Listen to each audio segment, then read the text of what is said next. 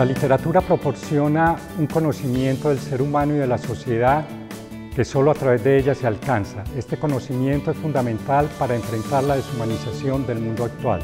Por esta y otras razones quisiera invitarlo muy especialmente a que se presenten a la próxima cohorte de la Maestría en Literatura, tanto en Medellín como en la sede del Carmen de Viboral.